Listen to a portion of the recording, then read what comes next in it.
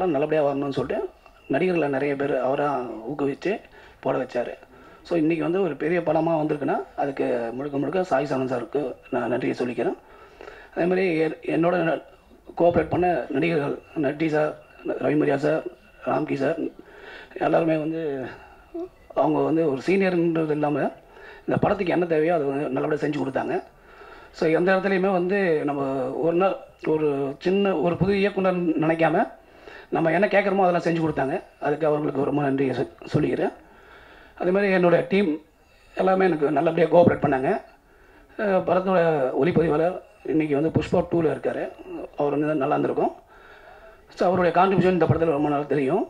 அதே மாதிரி music director Satyadev அவர் இதுக்கு முன்னாடி ஒரு மூணு படம் பண்ணியிருக்காரு அவர். அவர் படங்கள் எல்லாமே அவர் மியூசிக் நல்லா இருந்திருக்கும். படம் சரியாக போகலன்றதுனால வந்து அவர் இன்னும் வெளியில் தெரியாமல் இருக்கார். இந்த படம் டெஃபரெண்டாக அவருக்கு ஒரு ஒரு வெற்றி படமாக அமையும்னு நினைக்கிறேன்.